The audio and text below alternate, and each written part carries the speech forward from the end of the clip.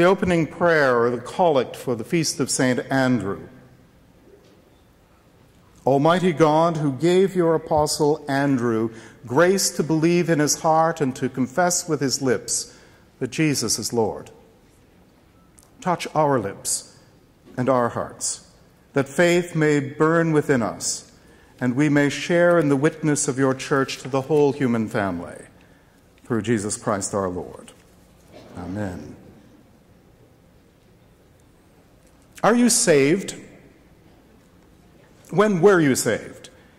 Is Jesus Christ your personal Savior? I find those questions somewhat off putting.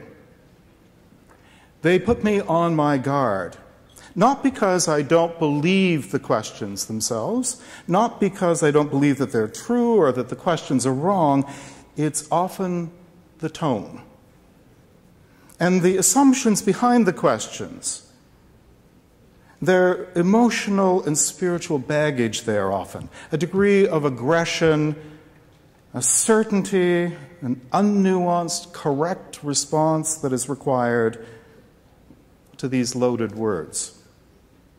Is Jesus Christ your personal Savior? I rather like an old monk's response to that.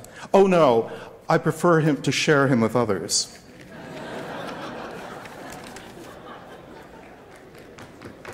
There is a brilliant artist, now dead, Rien Poortvliet, who, in a series of drawings illustrating Jesus' life in a book, He Was One of Us, look at the drawing of his disciples. Now let's look at a closer image of four of those disciples. Notice how each approaches Jesus in a different way. There's the direct, inquisitive, perhaps even a bit skeptical look.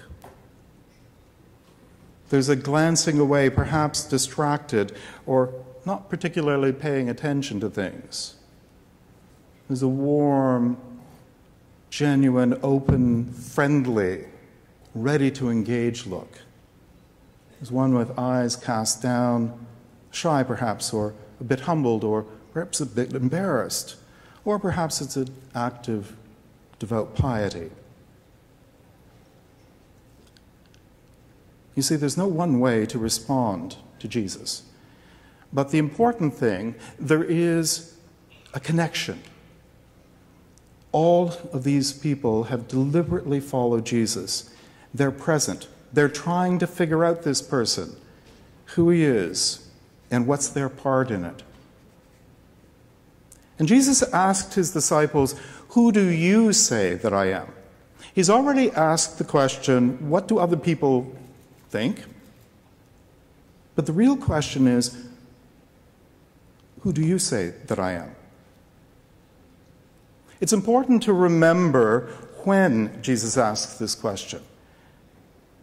They've been together quite a while now. The direction of the mission is beginning to take, become clearer at least in one sense, they're now heading towards Jerusalem, towards the culmination, if, in a sense, of the mission. The specter of the cross is looming, death is on the horizon, and yet they have no conception yet of resurrection. They are frightened and even aghast. They haven't signed up for this. This is not what they expected. This is not what they were prepared for and they respond typically. They deny it. It can't be, it can't happen.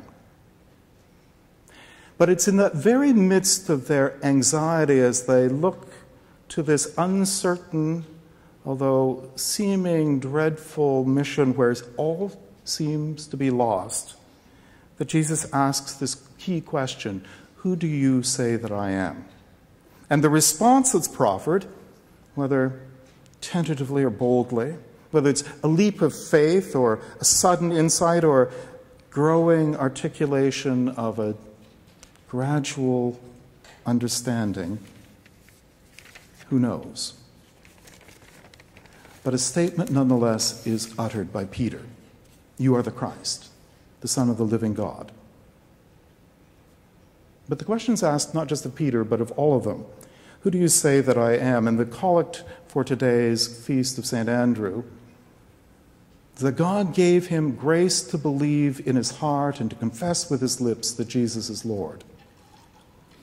Jesus is Lord. Not Caesar, not the principalities and powers of this world, not money, not family, not status, not the church, not self, but Jesus. In the midst of their confusion about what the, vision, the mission is, there is a point of clarity.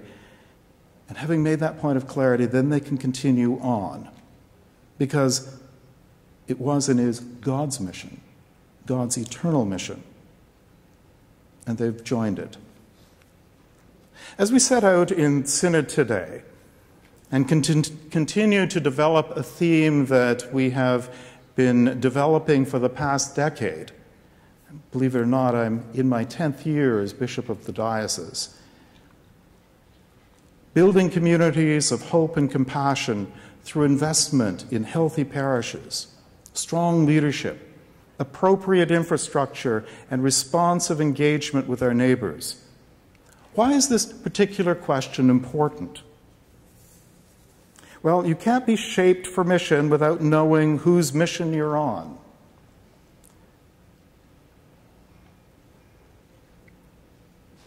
The Diocese of Toronto's mission statement, now over 30 years old in its current form, is still valid. Worship, proclaim, embody. Those are the key words worship, proclaim, embody. Or to flesh it out with a few more adjectives, godly worship intelligent faith, compassionate service. I long for every parish in this diocese to be missionally shaped. Every part of this diocese shaped for mission. But you can't be shaped for mission without knowing whose mission you're working for. Every parish missional.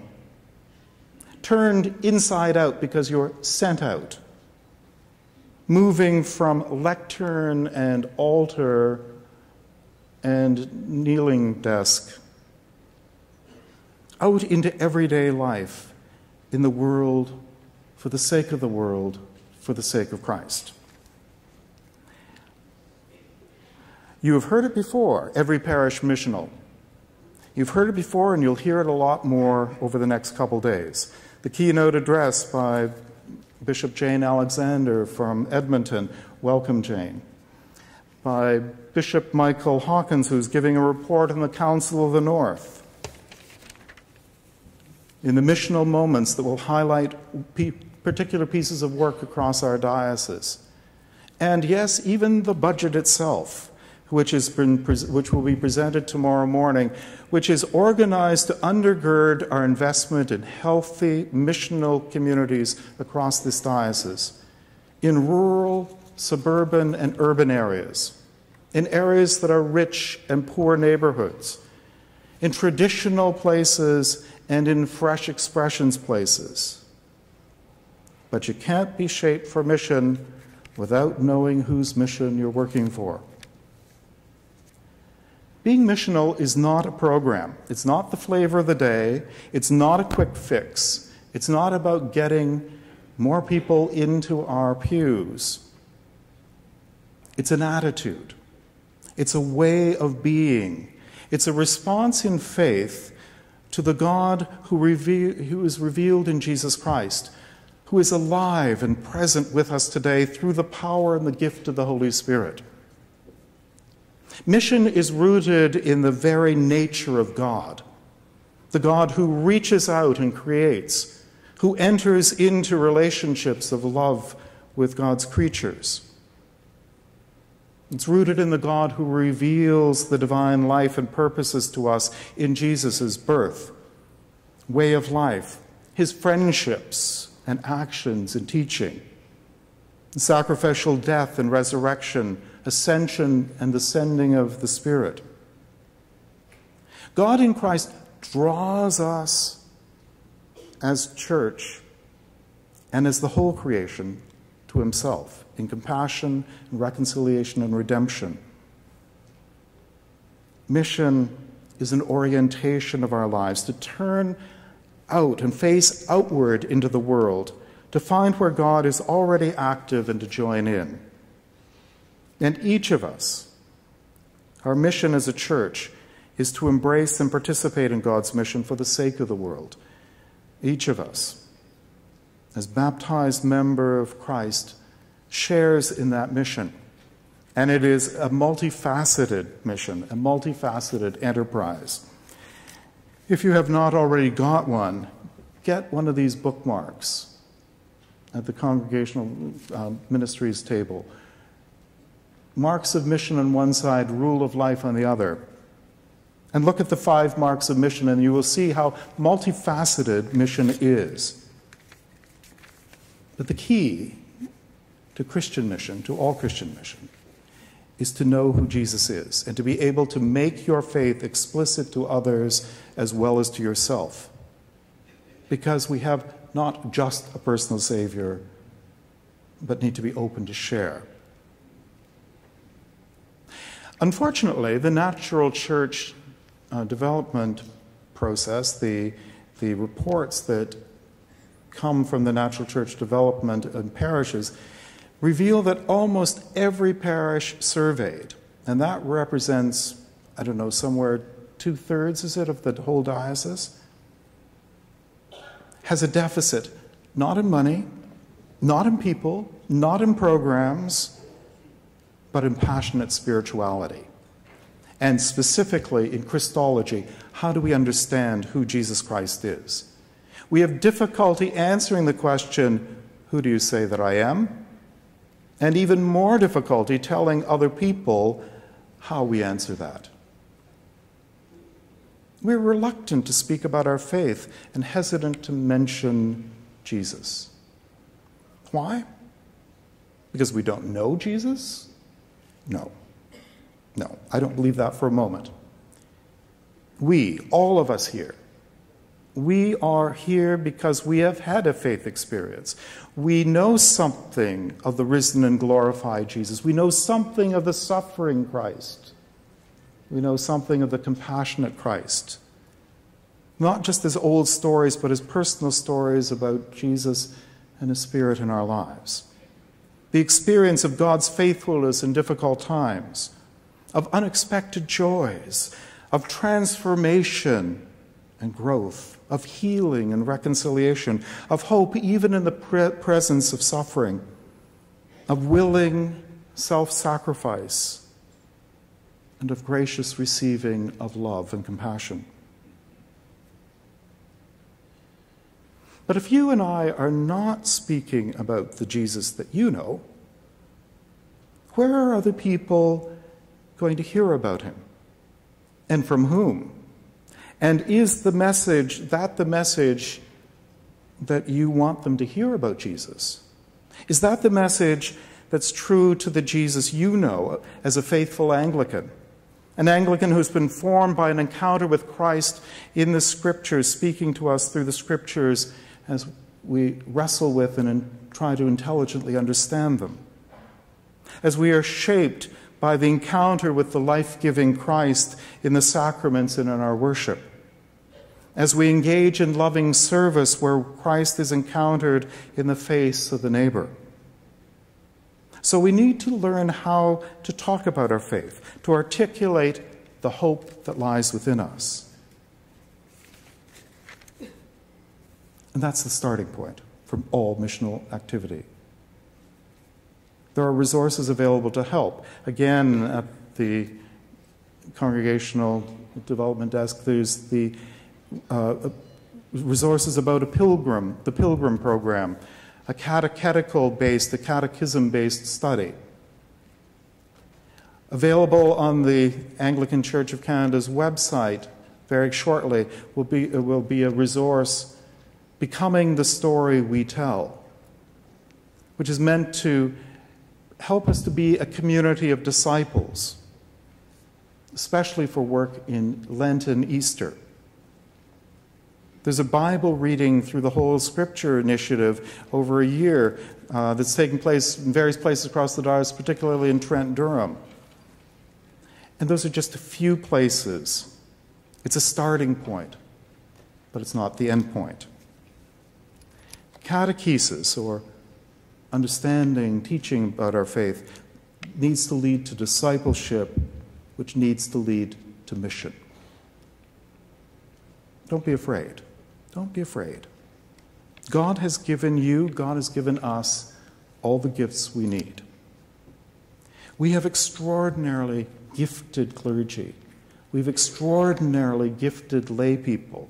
We have extraordinary resources. We have well trained teachers of the faith, both clergy and lay. We can engage with reframing and reimagining our church, both what we've traditionally been very good at, as well as trying out some new things. You have permission to try out new things. Drive the car. For God's sake, drive the car. For God's sake, drive the car, for God's sake.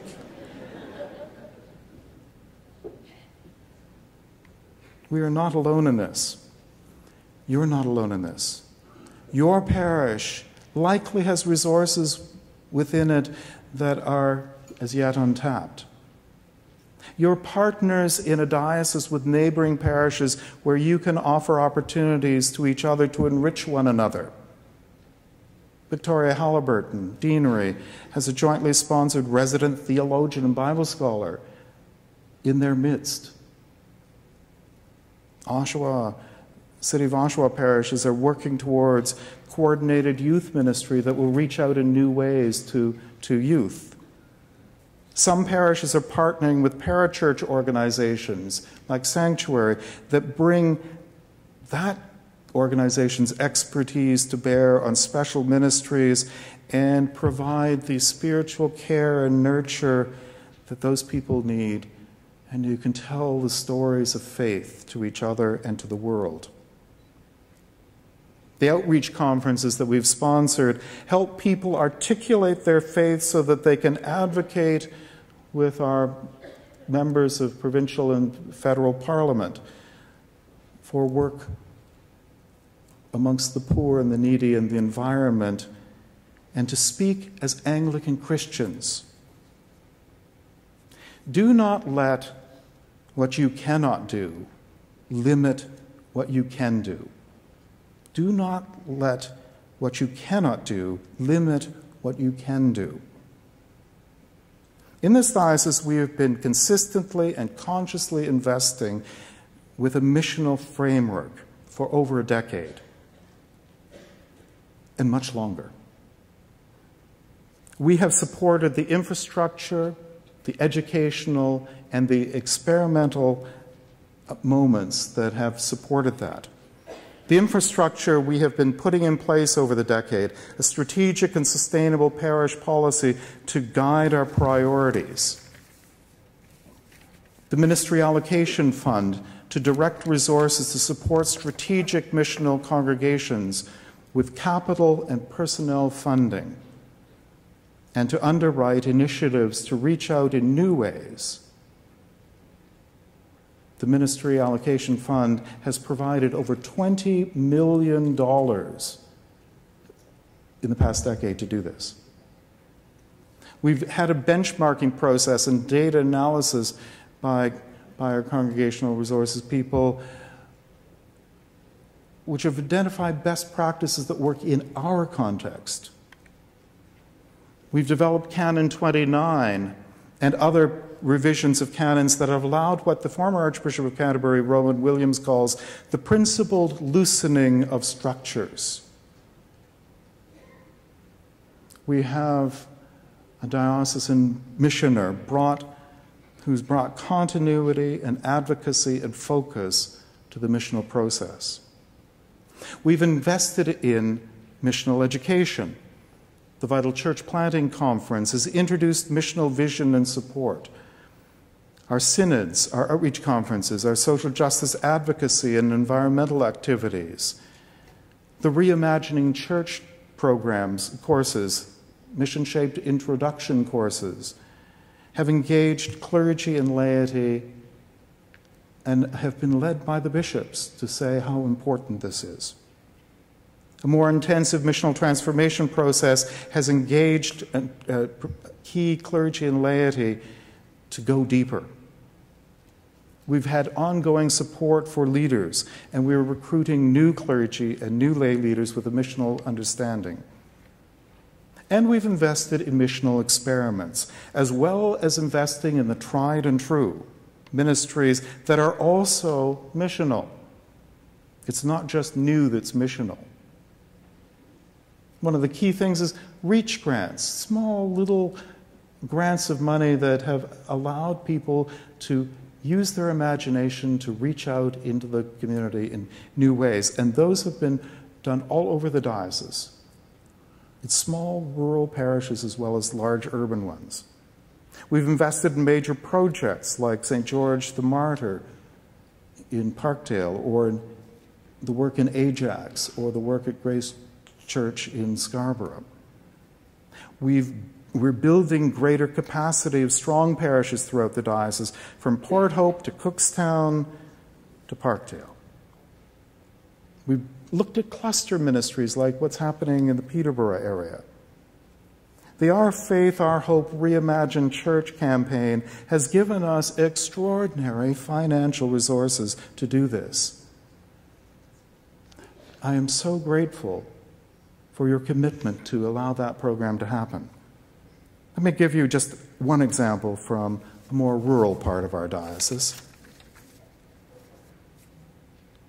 The area of Trent Durham and, and the Diocesan Communications Department made an application to Our Faith, Our Hope for a communication project.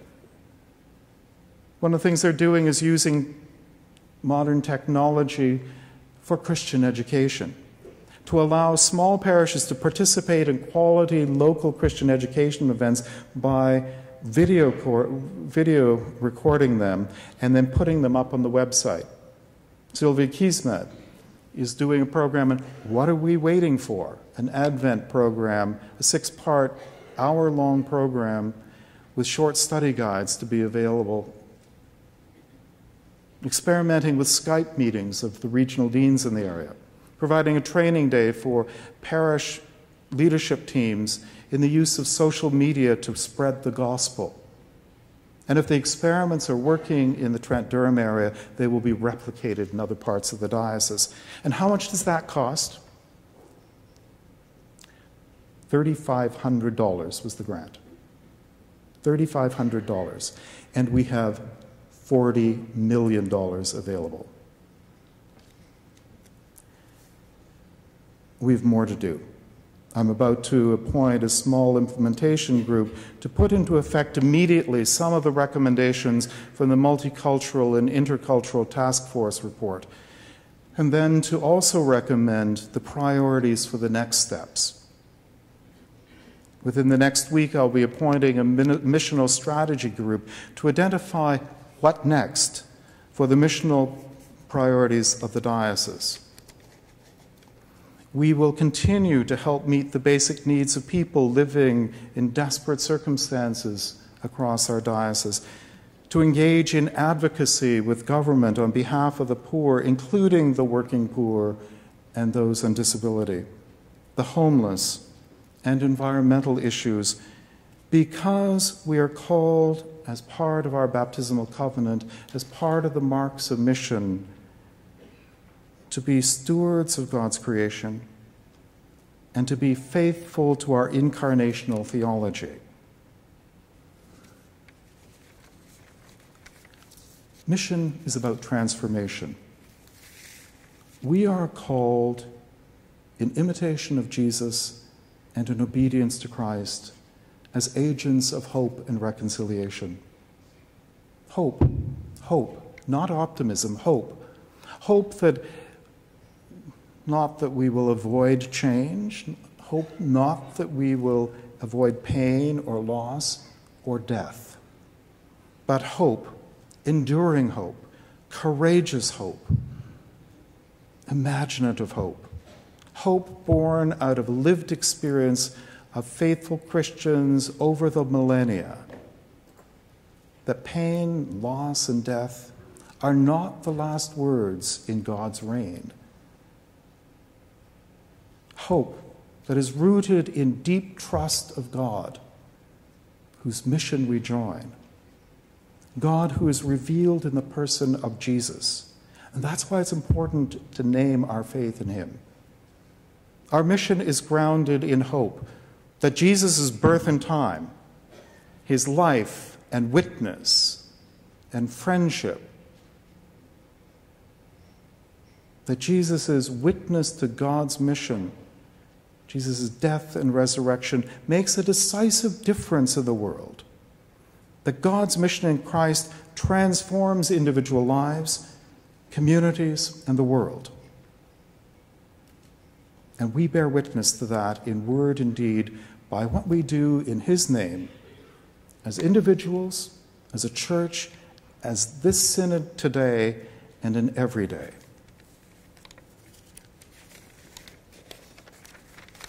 Let's hear again the prayer for St. Andrew's Day.